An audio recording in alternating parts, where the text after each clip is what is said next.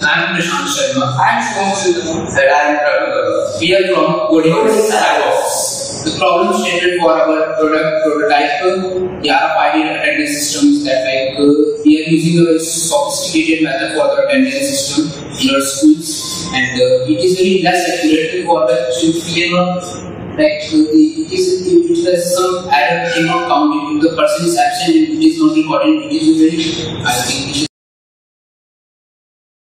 So the proposed solution for the given problem is that to create downloading method with the help of system, which is based on the RFID system, which has to Idea uh, works. See, this is a an Arduino Uno, which is a microcontroller. It will control our system. This is an LCD which will display the name of the student. This is the our scanner which scan the this tag or we can use a tag.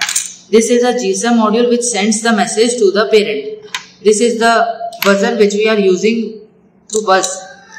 See, when we will use this card, this tag near the scanner, it will show the name of the student and also send the message.